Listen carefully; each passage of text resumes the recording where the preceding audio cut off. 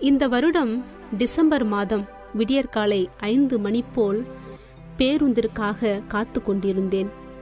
அரசு பேருந்திலிருந்து இறங்கிய பெண்கள் தங்கள் மீன் கூடைகளை இறக்கி ஓரமாக வைத்தனர். ஒருவர் மற்றவருக்கு உதவி செய்ய தலையில் வைத்துக்கொண்டு அனைவரும் சென்று விட்டார்கள். கூணு விழுந்து போன மூதாட்டி மட்டும் அங்கே நிற்கப்பட்டார். அவரை பார்த்தும் பார்க்காமல் போனவர்கள் பலர். இதை தூக்கிவிடுங்கள் என்று உதவி கேட்டும் கேட்காமல் போனவர்கள் சிலர்.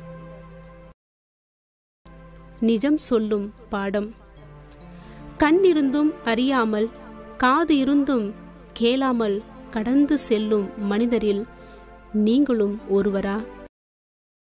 ஜெபம். இயேசுவே உம் சாயலான மானிடரை என் கண்கள் கருணையுடன் நோக்க வரம் தாரும். ஆமேன்.